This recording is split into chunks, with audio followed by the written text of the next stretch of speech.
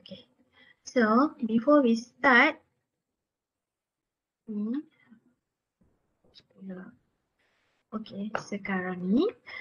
Okay, so sekarang apa yang saya nak kamu tahu ialah in this uh, tutorial what you have to know is okay apa yang kamu kena ada dan kena tahu ialah first is from lecture 1 kita kena tahu this step ni equivalence punya logical equivalent punya ni which is ni. Uh, uh, equivalent to what? Uh, maksudnya dia men, this statement is equivalent to this. Okay. Other than that is this law. True stable law. Okay you have to know this law. Kamu boleh rujuk yang ni tak pun nanti kan untuk untuk exam you have to maksudnya awak boleh print yang ni ni dan yang ni page ni supaya kamu boleh rujuk. Sebab kita dalam midterm exam nanti kita subjektif tau. Bila kita exam subjektif you have to you you you can see your note but saya tak nak kamu ambil masa lama untuk tengok semua rumus-rumus yang ada semua law yang ada uh, okay um, properties yang ada. Kalau boleh maksudnya yang ni jadikan kamu punya rujukan which is kamu print uh, dia siap-siap. Jadi apa yang kamu nak rujuk dah ada dekat depan. So no need to open the slide then find uh, while you are doing the exam. Okay this is the first law that I want you to refer for this tutorial. And other law is this rule of inference. You have to know this table uh, you have to refer to this table, rule of inference table. Okay, so that's all that you have to know. And we go to tutorial two. Okay, in this tutorial, first is we want to know how to to refer. Maksudnya macam mana kita nak rujuk. Rujuk yang mana, uh, uh, which is rule yang mana yang betul. Okay, untuk dirujuk. Okay, so now, first, macam kita buat apa programming first you have to define your parameter. Uh, macam tu juga. Sebab kita make script tu more to programming right? So the logic thinking while you are doing programming inside this mathematical script. Okay so now it is below freezing now. Please define whether okay i use p. P is equal to below freezing okay you can write it below freezing now. Okay. Dan Q ialah apa? Therefore, it either below freezing. Okay, we already uh, define below freezing the parameter. Then, the new parameter will be raining now. Here, please define your parameter first. Okay, after you define your parameter, then please complete this sentence. Okay, first is okay, if I mention about per, uh, premise, if I mention about uh, hypothesis, we, I, I'm referring to the first statement, second statement, third statement, then go to the conclusion. The statement before the conclusion is premise or hypothesis. We call it as premise or hypothesis. Okay, so now it is below freezing now. This is how we symbol it. P below freezing now. Then the conclusion will be, what is it? Therefore, it is either below freezing or raining now. Okay, either, right? Uh, right uh, okay, so P O Q because of O here. Okay, so here kan ni ini ialah kita punya notation. So now state which rule of inference that we use. Okay, go to your lecture 2 then open the fundamental of proof punya slide, go to the rule of inference punya table. So this is referring to rule mana? P, P, O, Q. Okay, so kat sini kita tengok nombor dua ni kan rule of inference P, P, O, Q. Ah, nampak tak kat sini? Just now P, the conclusion is P or Q. So for problem one, we know that we are referring to the addition rule. Ha, boleh? Boleh, boleh. Okay. Hmm. So nombor dua problem tu? Kita pergi problem tu ya. Uh, okay. Okay, problem tu. State which rule of inference is used in the following argument. Ah, kat mana? Ah, yang ni. Ah, sama juga. Define dulu. Tak semestinya kamu juga guna PQ macam yang rule of inference tu tau. Kalau contohnya saya guna R. R is below freezing. Below freezing. Okay. Then and raining now. RS. S saya yang tekan dia sebagai raining now. Okay. So kat sini uh, raining now. Okay. So therefore it is below freezing now. Okay. So dia punya statement ni akan jadi R and S. Lepas tu dia punya conclusion ialah apa? It is below freezing now. R. So tengok nota sekarang ini ini rule mana?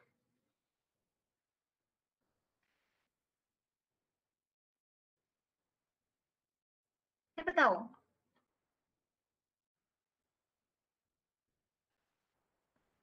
Simplification. Good. Okay. So tengok rule. Uh, semua orang uh, semasa saya terangkan ni semua orang buka rule tu. Okay. So this is simplification. Okay, so this is simplification rule. Okay, so here finish with problem two. Then we go to problem three. Okay, for problem three, same as previous. First, please define. Kenapa saya suruh define? Kalau macam dalam exam, this is the jalan kerja yang yang kamu boleh gain mark tau. Maksudnya, kalau contohnya, kalau ni if it is snow today, PP ialah snow today. Okay, yang kamu wakilkan ni pun saya nak tahu. Uh, which is it, it will give you marks. Okay, snow today. Lepas tu, then university will be closed. Okay, yang ni saya kamu tulis lah. This is Q, the university will be closed. The university is not closed today. So, it refer to the Q right now, right? Right. Okay, parameter dia sama. Then, therefore, it did not snow today. So no new parameter involved. So we can write a premise for this is it is snow today P then Q. And the university is not closed, not Q. Right. So the conclusion here is not P, not snow. Right. So this is the rule for so the answer for this is rule apa? Rule apa? Cuba tengok table tu. Ini ialah rule modus stolen. Ah, modus stolen. Okay, modus stolen. Okay, so until uh, problem 3, I hope you know how to refer. Maksudnya, please, please uh, maksudnya kita master maksudnya macam mana kita nak uh, nak refer yang mana dah tak salah dah. Okay so for program 4 uh, ah, macam ni. Problem 4 first is define dulu. Uh, raining. This is contohnya yang ni raining saya nak buat dia sebagai R. Lepas tu not have a barbecue today. Yang ni saya nyatakan dia sebagai B. Uh, Okay, not have a barbecue today is as a B. If we do not have a barbecue today, then we will have a barbecue tomorrow. Ini ialah T. Uh, this is new statement, right? Therefore, it is rain today. Rain dah ada. Then we will have a barbecue tomorrow. Okay, so for this, first statement is what? R. Then B, right? So after that B, the second premise is B then C. Betul? Lepas tu, therefore, dia punya conclusion ialah apa? It is if it rain today R, then we will have a barbecue tomorrow. Then C. Okay. Hmm. Ini rule mana? Ah, okay. Hypothetical syllogism. Ha, tengok hypothetical syllogism tu sekarang. Cuba relate kan apa yang saya ni. Ha, maksudnya every time you define ni one mark, one mark, one mark then you can uh, write this symbol uh, is also another mark then you can conclude it. Uh, then you get the full mark for this. Okay. Uh, Madam, Hmm. uh, nak tanya macam untuk the the premise B, it says we do Mhm. not have barbecue today. So is it a B or a not B? It depends. If you uh, define it as a B, then you put it as a B here because we will not have is also negation symbol, right? Yeah. But if you put it as not B here, then you put not B, then this is not B also. It it depends while you are defining here. If you define B as a have a barbecue, have a barbecue, then you have to write this. Uh, Ah, if you Okay. define B, if have uh, not have, which is not have, right? Okay, Mm. you already mentioned not, so no need to not in front. okay. Ah, it will relate what you are defining previously. But when we define, we must define B lah. We cannot define straight away define not B equals to not having ah, barbecue yes, today. Yes, yes. Uh, uh, uh, uh. When you are define B, you have to define B is have a barbecue today. Oh, okay, okay, understood. Okay. Hmm, welcome. Okay, and uh, uh, other question? Okay. Uh, for problem five. Okay, for problem five, use rule of inference to show that the hypothesis imply the conclusion. Yang ni kita kena uh, uji whether it is valid statement or not. Okay, first, please, uh, yang ni kita kita define dulu. Okay, so here if ah uh, so saya define dulu eh Randy yang ni saya nyatakan dia sebagai W. Kamu buat ayat yang betul lah ya. Saya saya tak tulis balik. Ah, kamu buat W sama juga dengan apa? Okay, Randy work hard is also is W also. Then this is then he is a dull boy. A dull boy ni S D. Saya define dia sebagai D. Okay, apa-apa pun kamu boleh define dia. Then another parameter here is he will not get the job. Okay. Now I I I define dia sebagai J is will get job. Ah, saya define dia sebagai will get job. Ah, yang ni yang soalan tadi tu kan. Ah. Okay, so contradict with this kan nanti kita buat tu kita kena letak not. Okay. So here uh okay. Uh, job Randy will will not get the job. So habislah kan kita ada berapa parameter je D, W and J. Okay, so now we go for the uh, statement. Maksudnya how can we produce a symbol for that? So for premise one, premise one, premise one for this is Randy work hard, which is W. Sorry, jauh sikit lah. Okay. W. So for premise two, what? Randy work hard, then he is a dull boy. W, then D. Okay. Then Randy is a dull boy, then he will not get the job. Premise three is Randy is a dull boy, then he will not get a job, not J, because just now I I defined as Randy get uh, get a job as a J. Okay, so it implies the conclusion which is Randy will not get a job. Randy will not get a job which is so just now job job job ni apa? Will not get a job is not G. Okay, this is the conclusion. So here our task is try to relate, relate first, second, second and third or or is not in order is also can kalau dia tak ada dalam order pun tak apa, kita nak cuba kaitkan yang pertama, kedua dengan yang pertama, pertama dengan yang ketiga so that at the end kita dapat dia punya conclusion yang ni. Okay, apa yang kamu kena buat sekarang ialah refer table-table yang saya suruh refer pada awal tadi. Okay, so now first, first is we take the premise one. W is premise one just now, right?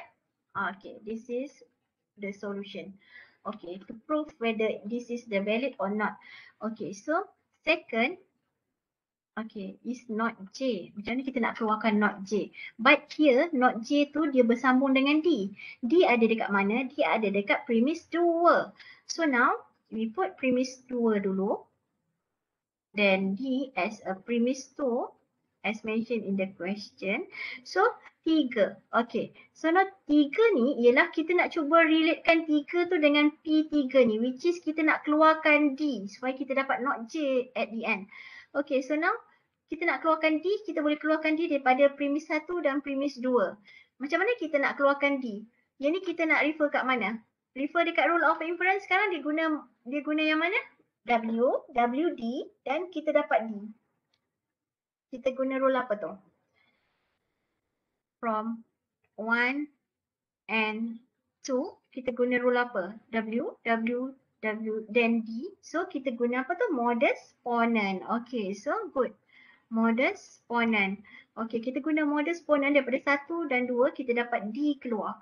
Kita keluarkan D. So now, here we have to, okay, so we have another information which is we have 4 which is the third premise itu ialah D jadi not J. Okay. So ini kita ambil daripada premis 3. Kita tak buat apa-apa. But here ha, kita dah sampai ke kita punya conclusion which is kita nak dapat yang ni kan. So kalau D, D imply not J. So jadi not J guna guna mana? Guna rule mana? Modus ponens also, right? Hmm. From 3 and 4. Okay, so we get our final answer here. Okay, faham tak? Ah, ini ialah tujuannya kita nak tahu kita punya statement tu betul ke tidak. Kalau contohnya kalau orang dia audit macam kita kita ada programming kita nak tahu the the rule that we involve in our algorithm tu betul ke tidak kita boleh prove guna yang ni. Kita refer dekat rules mana okay kita refer kat law mana to get the the final answer. So kalau uh, kita punya susunan tu betul then our uh, our sistem yang rule yang kita terbitkan tu bolehlah digunakan. Untuk how do we prove? Okay. So now Ya. Yeah. Macam yang sebelum ni kan saya uh, ada contoh tu eh, uh, yang mudah lah. Contohnya uh, kalau dia just now macam if if dia dapat uh, apa dia dapat less than 2 uh, greater than 2 dia punya pointer dan sekarang ni dia dia macam mana maksudnya dia greater than 2 dan dia mendaftar subjek uh, okay dan premis yang seterusnya dia mendaftar subjek. Okey dan seterusnya macam itulah. Tapi dia punya rule tu macam kalau kamu nak buat syarat untuk algoritma nak nak untuk syarat pendaftaran subjek, yes, boleh nampak kat situ. Hmm, nanti kamu akan nampak jumpa dalam problem dekat komputer uh, how do you program. Okey, harap faham eh. Hmm. Okay, so now here for before we uh, go for the problem 6, what I want you to do is ah macam ni kan. Okey. Contohnya kita ada ni. Ha. Okey. Yang ni ialah saya search tadi. Sebab kalau untuk rule of inference ni, kalau rule of inference ni kita kita kena ada banyak-banyak supaya kita dapat skill tu kita kena cuba banyak latihan. Okay, this is uh, the uh, how I search for rule of inference online quiz. Okay, one that I suggest you to go through is this Sun Foundry ni ataupun yang lain pun boleh juga. Okay, kat sini saya rasa macam bagus sebab dekat sini Ah, kamu boleh buat kamu punya statement, lepas tu dia dah dah tahu kamu punya solution. Okay, nampak tak which rule of inference that you uh, use uh, to this your answer. The symbol. Okay. So this is one example lah. Dan seterusnya kamu boleh tengok juga sampai bawah ni lah apa yang dia buat. Okay. So kalau yang ni uh, the premise dia apa, imply the conclusion apa. Okay. So kamu boleh tengok jawapan dia. Ataupun kalau untuk subjek lain programming ke apa ke dia memang ada dekat sini. Dia punya uh, soalan-soalan yang kamu boleh go through kat sini eh. Okey, ini salah satu. Dan apa yang saya nak kamu tengok lagi ialah rule of inference example with answer. Okey, for this. For example, hmm, macam ni. Contoh eh, kita nak tengok rule of inference daripada lecture orang ni. Okey, ah uh, okey. Yes, yes. Okay, this is the the lecture for this person. Letak dulu. Okay, ni kan. Uh, daripada lecture orang ni kan. Sebab kita nak rule of inference macam dekat tutorial tak cukup tau. Dia punya masalah macam problem 5 tu tak cukup. Saya rasa memang tak cukup. So you you want to to apa you have to do extra exercise. So kat sini dekat dekat lecture orang ni dia ada how do you represent okay untuk yang ni then you can you can follow the the the notes here then the the the example here uh for example ha ni building a valid argument. Okay, this is the conclusion here. So step one, step two, how they relate one to another uh, premise to get the final answer. Then this is the the the example. So cuba, cuba. This is the hypothesis uh, yang dia dapat selepas dia simbolkan daripada semua statement yang ada. Okay, lepas tu macam mana dia boleh come out with this to to to prove that T is the final answer. Ha, yang tu kamu kena dapat the skill. Mula cuba dulu, lepas tu tengok macam mana orang ni dapat. Okay, ataupun kadang-kadang kita boleh berbeza dengan dia kalau kita ada cara kita tapi towards the end kita akan dapat jawapan yang sama. Okay, this is the quantifier dan boleh tengok lagi uh, contoh-contoh contoh-contoh yang lain dekat sini dia ada banyak handout kat sini example okay saya bagi searching punya link je lah kat sini Okay. Just now for for the uh, online quiz tu yang kat sini yang Sound Foundry ni ialah yang ni saya bagi dia punya uh, link. Okay, you can refer to this online quiz or other online quiz that that appear here. Okay, uh, rule of inference on online quiz boleh juga tengok kat sini. Saya select all control C. Okay, this is the online quiz punya searching. Okay. Okay, so before we proceed with question six just now. Okay, kita pergi tengok soalan enam. Sebab soalan enam ni dia memerlukan kamu tengok daripada, okay, daripada lecture one. Ha, kat sini dia perlukan kamu mahir nak refer table mana dekat sini page 20, 21 and 22. Then from lecture 2 from uh, page ni yang rule of inference ni hmm, untuk jawab soalan 6. Okay, so now we go for question 6. Okay, so here uh, rule of inference untuk yang ni ialah Okay, so sekarang saya ini saya record kalau kamu nak tengok balik, kalau kamu tak faham nanti boleh tengok balik. Lepas kamu buat exercise yang daripada internet tu, kamu nak cuba balik problem 6 ni boleh. Okay, so now here we define it first. Okay, so saya uh, saya define R. R is raining. Saya bukan define not raining eh, saya define the raining R. Okay, so then F is foggy. R is raining. Okay. Then F is foggy. Okay, so nanti lepas kita buat statement tu nanti kalau dia kata not, kita kena letaklah negation dia kan. Okay. Ha. Okay, so R is rainy. Then F is for problem C eh, foggy. Then after that is uh, sailing race will be held. Tu kan? Okay, so S ialah sailing race will be held to. Then lagi apa yang ada? Trophy will be awarded. Life saving demonstration will be go on. So L. L ialah life saving tu. Saya define dulu. Okay, will be held. Okay, life saving demonstration will go on. Okay, so sailing dah ada. Uh, trophy will be awarded. Okay, so T. T is trophy will be awarded. Trophy eh. Okay, so sekarang untuk yang ni kita punya parameter ada R, T, S, L and T. Okay, so ada lagi tak yang saya tak define? Cukup rasanya kan? Itu kan? Sebab akhirnya trophy was not awarded. Okay, so here go to the premise. Macam mana kita nak uh, premise yang pertama ni ayat dia panjang kan? So how can we symbol the first premise? Okay, it is not R lagi or not F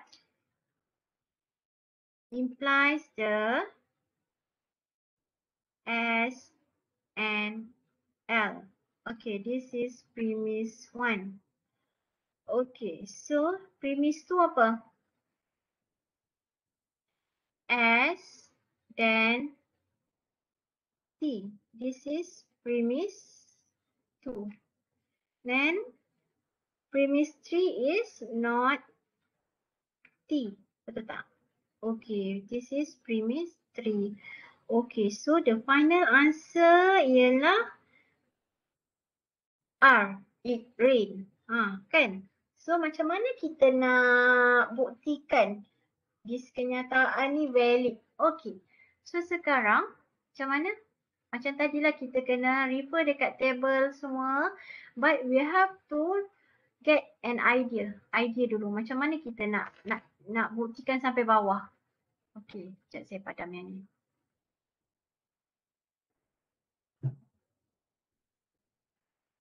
Saya padam semua je lah. Okay. Okay, so sekarang kita ada yang pertama. Kita ambil, dia tak kisah tau yang pertama ke yang akan uh, kamu rasa yang mana mudah dekat kamu. Okay, so sekarang cuba. Untuk yang ni.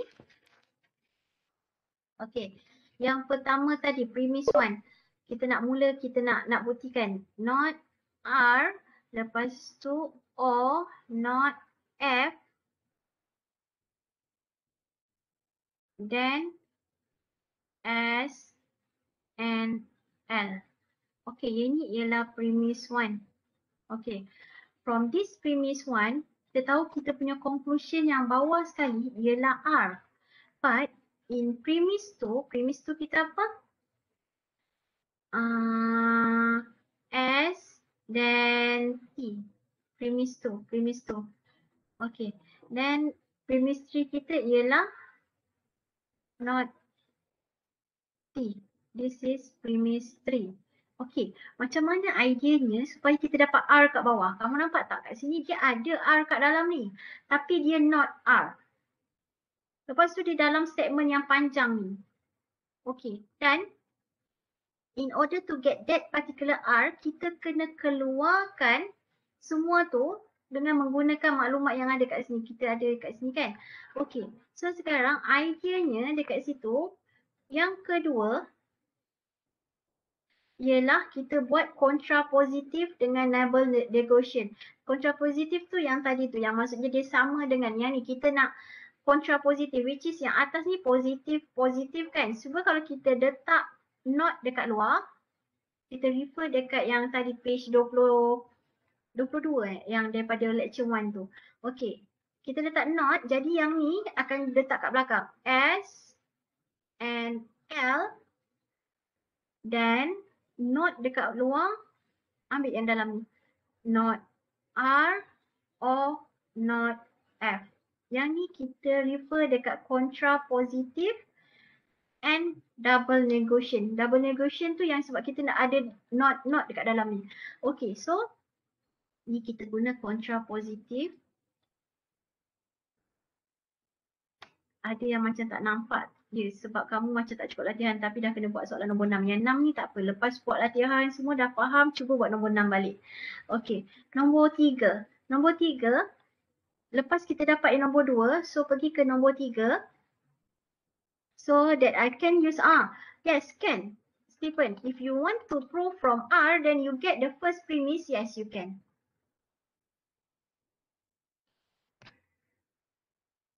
Okay, so number tiga apa? Number tiga sekarang lepas kita buat contrapositive and double, double negation, so I use the uh, De Morgan law. So now I use the De Morgan law and double negation so that I get this not S or not L then R and F. Okay, R and F. This is, I'm using the De Morgan law and double negation. So now here, you you can see that our R is not not R. So, kita punya aim kat belakang ni macam terhasil lah kan kat situ. But here, okay, so now number three, number three, number four. Okay, number four, use our premise which is S then T is P2 premise 2 then number 5 kita nak use our premise now. Okay not T as our premise 3 so yang bawah ni saya padam dulu ya sebab uh, belum lagi dapat conclusion ni. Okay so now what I'm going to do? Okay so now you look at here which is S here. Is in number 3 it contain not S So from here, number 4 and number 5, so we can use model stolen, then we get not S. So not S, so kat atas ni kita dah dapat not S. Okay, so that's the idea. So we get not S from 4 and 5 by using model stolen. Okay, from 4 and 5. Okay, after we get model stolen uh, not S, so number 7, our next step is, so try to develop this. Uh -huh. Okay, how can we get this by using what? Addition. Addition kita boleh tambah apa-apa. Kamu tengok rule addition dekat dalam table tu which is not S kita tambah or not L we can produce this by using addition addition addition from addition eh? From 6 ah from 6 tu kita dapat addition. Okay so nombor 8 ha okay sekarang kita pergi ke nombor 8 nombor 8 kita teruskan lagi. Nombor 8 okay from here. Okay R and F. Okay so look at this. Number 7 ni kan sama kan dengan number 3 Nampak tak? Bila dia sama, dia macam P, P dan Q. We produce P and our fans, uh, last answer is Q. Macam modus ponens sebenarnya. Sebab yang depan ni sama. So kita boleh bawa keluar yang belakang ni. Which is nombor 8. Kita boleh produce R and F by using what? Modus ponens from 3 and 7. 3 and 7 modus ponens. So we get R and F. So now we get R here. So number nine, if we have this, so then we can simply get our final conclusion which is R. R and F then we get R by using what? Simplification. Just now, yang macam soalan contoh berapa mana tu? Okay, simplification. So, we get this final answer. Then we can conclude this statement, this this statement is valid. Okay. Any question? If you can't understand, please do the exercise that I showed previously. Then come back to this type of question. Okay, because this needs skill. Memang betul-betul perlukan skill. But once you have that particular skill, dapat soalan apa pun kamu boleh jawab. Okay. But jangan tinggalkan terus soalan ni eh sebab in order to define tu pun kita dah, dah bagi jalan kerja punya markah. Okay, so for this, for problem seven, okay. Macam kita nak provekan problem 7 ni. Yang ni dia tak, tak refer dekat yang rule of inference tu. But we have to use the mathematical punya provement. Okay, so the information that we get from here is we know that AB is a real number. Then A is less than B and is less than 0. Okay, even though it's real number, But from this information, we know that our AB is negative number, right? Because it's less than zero. Okay. Now, first, if we have A is less than B, when we time it with A, we get what? Contohnya kalau A lebih kecil pada B lebih kecil pada kosong ni kita wakilkan dia sebagai negatif 2 lebih kecil daripada negatif 1 dan lebih kecil daripada kosong. Okey. Bila yang pertama ni yang A is less than B yang first yang first ni ini kita times dengan A kita dapat apa? A kuasa 2 dan A kali dengan B. But here the notation here lebih kecil ke lebih besar? Kalau kita letak A kita negatif 2 kan?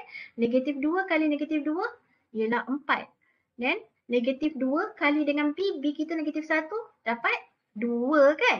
So 4 is lebih besar daripada 2. Ha, nampak dia terbalik. Nampak tak kat situ? These two information is really important. Okay then. Then this is the first punya ni. Dan kalau yang pertama punya statement ni kalau kita darab dengan B. Statement yang pertama kita darab dengan B kita akan dapat dapat apa? AB is kat sini ialah apa? B kuasa 2 betul tak? Kat sini A sebab yang pertama ni kan yang ni tadi first statement is A is less than B. So bila kita times dengan B kita akan dapat A kali dengan B AB dan B kali dengan B ialah B kuasa 2. But here the symbol. The symbol is A kali dengan B ialah 2. B kuasa 2 ialah berapa? Satu kan? So sekarang kita tahu bahawa 2 lebih besar daripada 1. So from ni kita dapat dua dan yang ni ialah persamaan yang ketiga. Okay, so now we combine dua dengan tiga, dua plus tiga. So we get what? Kita akan dapat apa? Kita akan dapat ni. A kuasa dua lebih besar daripada AB. Kita nak combine kan sebab ni sama. AB dan dia juga lebih besar daripada B kuasa dua. So, af, ni, yang ni maksudnya kita boleh conclude tak yang A kuasa dua memang akan sentiasa lebih besar daripada B kuasa dua. So, terbukti. Okay, so dapatlah yang akhir. Okay, boleh? Ada soalan tak untuk problem 7? That's how we prove using mathematical way but you have to find the information yang dia bagi. Ha, ni information yang dia bagi. Okay, now try to look at problem 8. Okay, macam mana problem 8 ni? Kita nak provekan dia. Pertama sekali sama juga. Tengok information yang dia bagi. Dia kata A dengan B tu real number. Dan dia kata A ni sentiasa lebih kecil daripada B. Lepas tu dia suruh provekan benda ni. Okay, so sekarang when when you want to prove it, you look at the final answer which is dia ada tambah kat situ. How can uh, we put tambah from this statement? Okay, bila kita ada A is less than B, kita nak put tambah, tambah tu. Maksudnya boleh tak kita letak kat sini dekat first equation ni kita letak tambah B dekat kedua-dua belah. Which is dia akan jadi A tambah B is less than B tambah B. Ha, nampak tak? Nak tahu less tu betul ke tidak? Okey, contohnya kalau kita ada sat, uh, contohnya kalau kita ada macam ni lah. Satu lebih kecil daripada dua. Kalau kita darab uh, tambah, kita betul dapat ni kan. Which is B dua tambah dua lebih besar daripada satu tambah dua kan. Okey, betul lah kita punya ni inequality ni.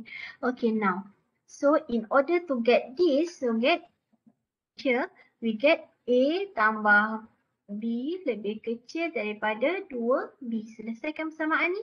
Okay, then here A tambah B, we can put 2 to the left which is we get divide by 2 then it less than B. Okay, this is the final answer. So terbukti. Boleh ada soalan tak? Kita dah habis ni tutorial 2.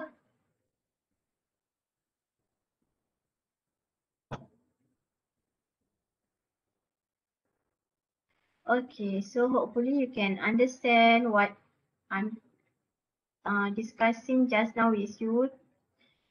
Uh, okay, so here is the attendance for today, 23%. Okay, so we finish with tutorial 2, then tomorrow we'll uh, have the lecture 3. I recorded the lecture 3, then put inside the ULearn, then you go through the lecture 3 first and do the exercise that I give for attendance. Then if you don't understand the lecture 3, please ask me while the tutorial session next week on Wednesday. Okay. Boleh, okey. Dah tu saja. Terima kasih. Assalamualaikum. Good luck.